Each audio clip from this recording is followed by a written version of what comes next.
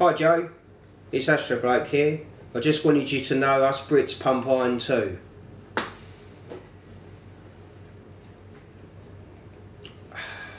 Bloody marvellous that tea.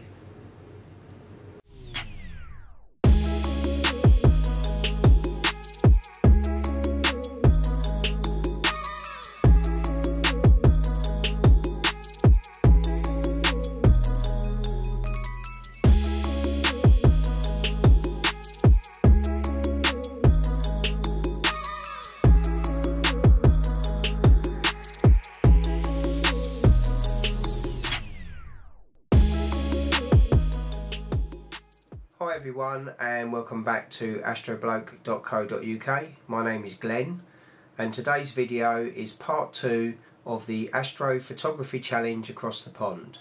If you haven't checked out part 1 please do, it's up here. It's a collaboration between myself um, based in the UK with Joe from joe's astrophoto.com who's based in Colorado in the United States of America we basically came up with a, a, an idea of collaborating together and we decided to have a challenge where we took images of the same target and we processed each other's data. So today's video is going to be the processing of Joe's data and at the end you will see uh, the image that I finally produced. Um, I'll also show you the image that Joe produced from my data and a final image of both the data sets put together. So I hope you enjoy the video please consider liking and subscribing if you do. And also please check out Joe's uh, YouTube channel as he's a great guy and he's got some really interesting videos to watch. So let's uh, delay no further and get into the editing. So uh, welcome to my PC we'll just load up PixInsight and get everything we need together I've received Joe's masters of the Flaming Star uh, in the SHO palette and I'm just going to load them into PixInsight and uh, see what we can do to process them. I've got some uh, workflow shortcuts of my favourite shortcuts that I like to use which I'm just going to load in there and then I'm just going to find Joe's masters and put them in. So bits of the video, what I'm going to do so it doesn't uh, drag on for ages is uh, any processes that need a bit of time to run, I'll either uh, cut, pause the video or fast forward to the, to the finished bit. Uh, but we'll just have a look at the different masters here. So we've got the sulfur, the oxygen and the hydrogen alpha. Nice a few halos around the stars on the oxygen there. And the sulfur is quite nice actually. I don't get uh, that kind of image on my sulfur filter and I do need to check on that. I'm not sure if it's my light pollution but I just don't seem to get that kind of detail on my sulfur. Okay so we're going to jump uh, into the first stage here which is a dynamic crop. Uh, geometry there we get dynamic crop up and we'll set it on the uh, hydrogen alpha. Let's have a look here. There's not too much uh, on the edges here from the dithering so we'll try not to lose too much of the information. We'll just bring it in as much as uh, as little as we can. Let's Okay, we drag this off, this instance off, and we can close that dynamic crop, and then we can use that instance. We'll just give it a name, we'll call it crop, so we don't get confused with anything else, and then we can just drag it onto each of the images, and they're all cropped the same. And we'll just put this over here, in case we need it again.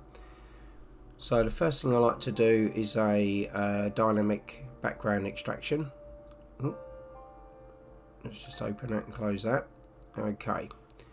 So I've, I've got a set uh, one that I've made and saved with the boxes around the outside.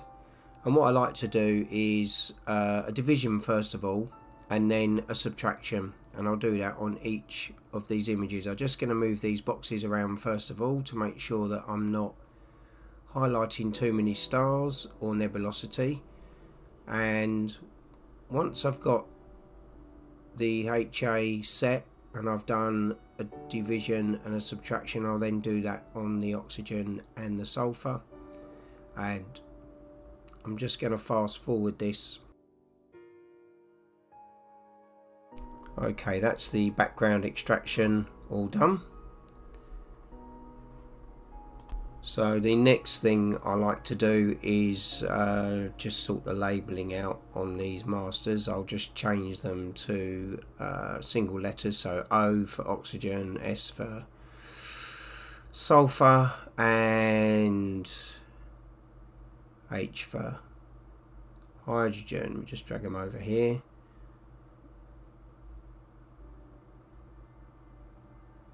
So we got SH and finally the O for oxygen. Uh, just something I do just to keep the uh, desktop as tidy as possible, otherwise I end up in a complete mess. I'm going to combine the SHO using the uh, colour combination tool. So we first of all need to stretch all of these. Now some people uh, combine the um, masters before stretching in a linear state. But whenever I do that I I always find I end up with a very I don't know out of control colour to play with. So for me personally I find it easier to uh, stretch the data and then combine it and it just uh, works better with my uh, workflow. I'm not sure my workflow is like others. Um, it's a little bit unique in places, but uh, it seems to work for me. So, uh, okay, so let's put sulfur in red, hydrogen in green, and oxygen in blue. Okay, that's uh, about right. Pretty green with plenty of purple stars. Let's just put this over here. Oh, try and make it a bit bigger. Let's try again. There we go. Okay. So, first thing I'm going to do is I'll um, get rid of some of these purple stars. I'll invert the image. And I'll use SCNR and remove the green because as you can see the stars are green at the moment. I'll get rid of them. And then we'll invert that back. It should look a little bit better.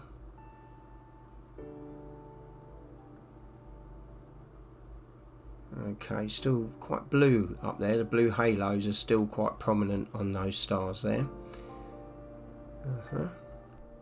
The next stage I will do will be using uh, StarNet++ to remove the stars from the image and I find that then when I do my colour changes I don't affect the stars. If you use this process um, I've got a video uh, in my uh, collection uh, of how to turbocharge StarNet++. So if you've got an NVIDIA graphics card and you download the CUDA toolkit, you can speed up the process of this uh, enormously. So what I'm doing is I'm actually uh, making a star mask so I can pull the stars uh, out of this image. So not only leave a starless uh, colour image, but I'll have the stars separately and I'll add them back in once I'm finished with the background. And what I find then is any stretching and colour changes I make don't affect the stars. So now I've got the stars, I need to save these as a TIFF. And that will be a 16 bit. And we just leave that as star mask and we can shrink that down and just put that out of the way for a sec. What I need to do now is grab the hydrogen alpha uh, master, pull off a clone and we'll call this uh, loom for luminance. This is going to be our luminance layer it's going to put the detail uh, back in later as you'll see. So we don't need a star mask on this one. Uh, we just need to uh, make this a starless uh, background to match the colour one that we've already made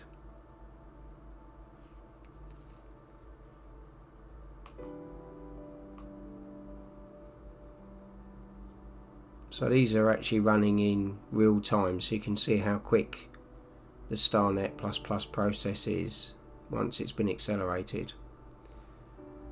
Okay, so now we've got the Starless HA layer.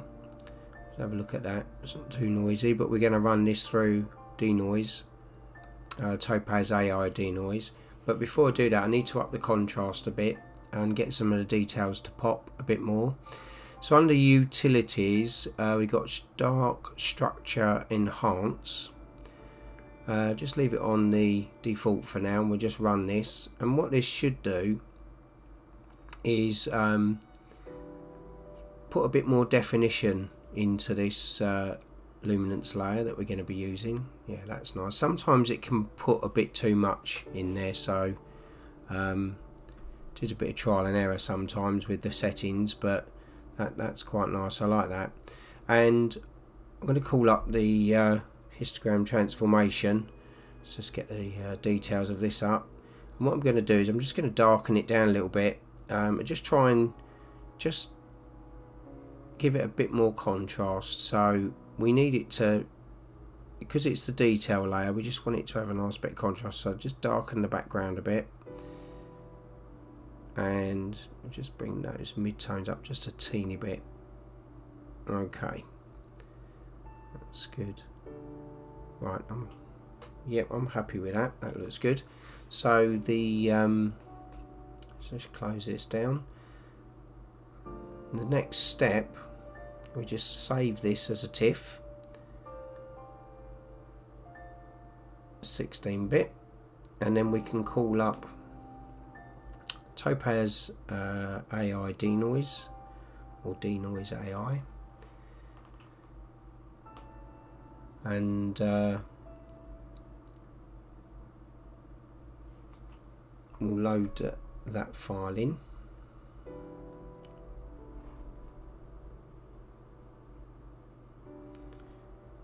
And the top left corner there is the original. We got all clear below that. To the right is the denoise and below that is the low light. Um, so I'm just going to have a look at the detail. Sometimes the low light smooths it out too much and you end up losing some definition. Um, it just depends on the uh, on the target. Sometimes the denoise is better than the low light. Sometimes the low light is better than the denoise. It's just a case of uh, just just having a look. I think I'm just up the uh, have a look at different areas and just see how how it's affecting the sort of light dark and mid areas on the image. I'm just going to take that sharpness down a little bit. Yeah that's yeah I think that's definitely looking better on the denoise side to uh, Okay, I'm just gonna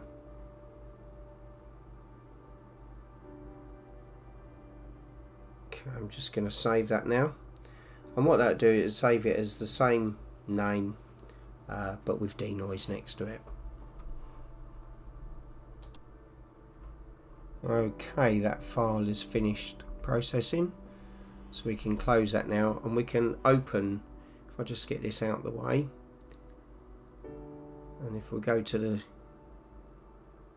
file where we've just been there'll be illuminance with denoise and that's the denoised version.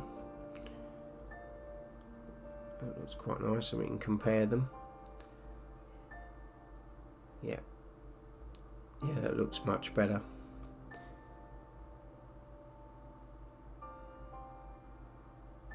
Okay we put that down. Now this is actually RGB and it needs to be a luminance layer so if we tick that tab up there on the left it extracts the luminance because if we try and put the luminance in on an RGB and it's an RGB file it just won't happen so we need to make it a luminance. So that's our luminance that we're going to use for our details. Let's, uh, let's put it somewhere where I can find it.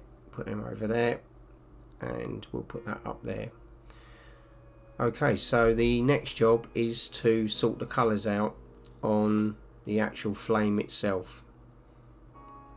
So I'm going to be using uh, colour masks under utilities. Uh, so we go script utilities colour mask.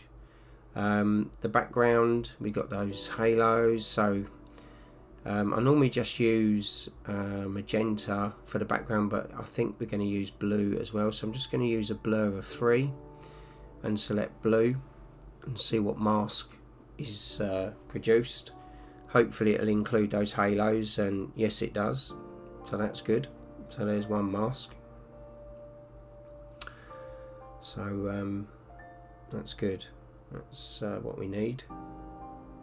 So that the video isn't too long uh, I'm gonna make um, mask color masks for magenta green uh, cyan and yellow. And I'll just fast forward this video to the end of the yellow making. So the next step is to uh, pull up curves transformation. And we'll call up the blue color mask. Pull that across to the uh, tab and put a mask on there.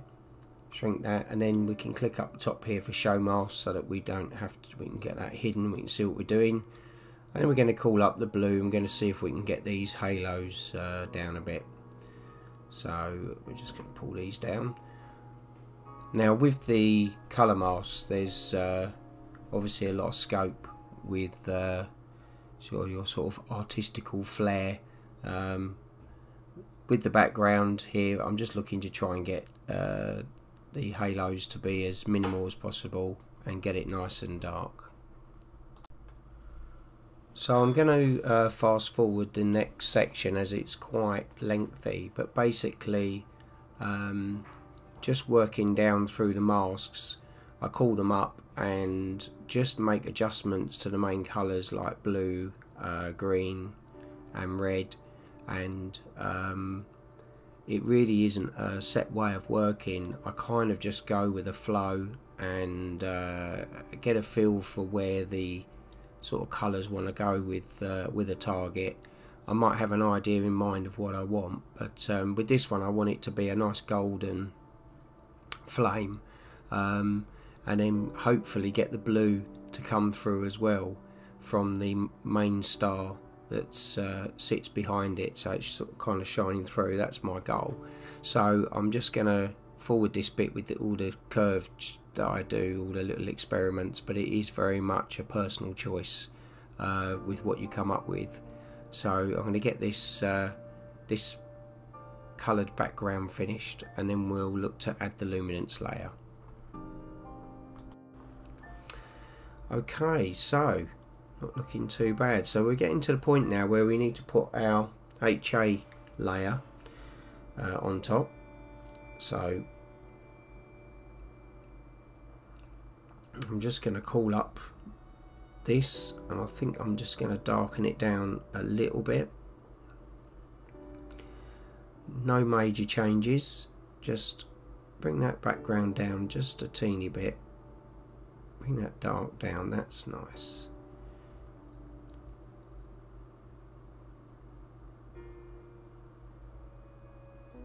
Okay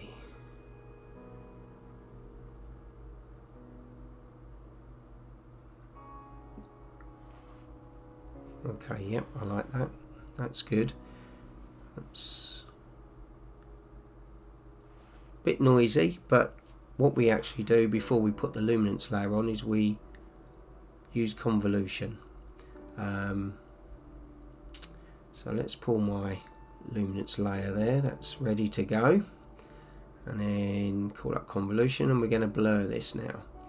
Um, and say don't be afraid to blur it because all the details in the HA so we just blur this down. And what this will do is this will keep all the colour but clean clean it up. It will blur out. And you put oh that hasn't worked. What am I doing? That's better. There we go. So that's been blurred. And what we can do now is call up LRGB make sure the RGB are unticked.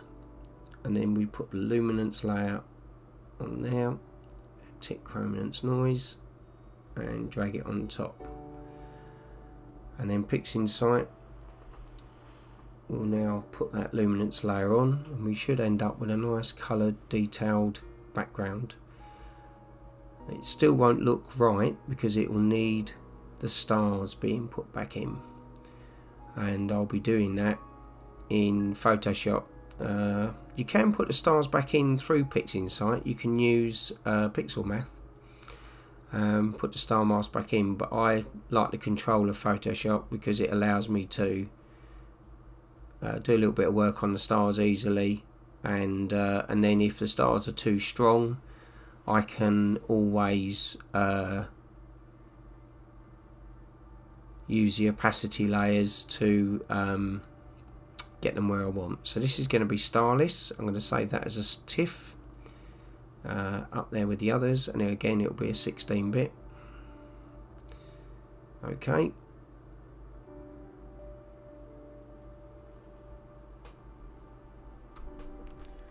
Now I need to uh, shrink this and open Photoshop.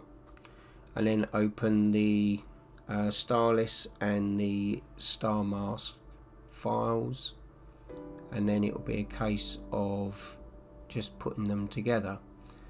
Um,